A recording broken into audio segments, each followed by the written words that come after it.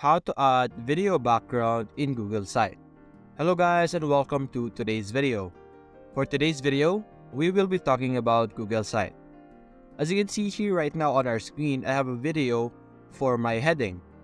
Now technically this is not a video, but we did use an original video to create this output over here. We're going to reset this. Now there is no possible way to upload a video for your background over here. As you can see, it is specified for an image. So what I did was I went to Pexels over here.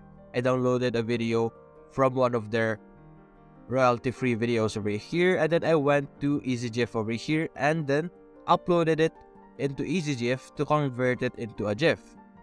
Now I was able to convert the video into a GIF and now I was able to download this as you can see here. I was able to download this and now I am now able to use this and upload it over here as our background over here and now we will be able to have a video as you're heading in this section. And that's it guys, hope you enjoyed the video, thanks for watching.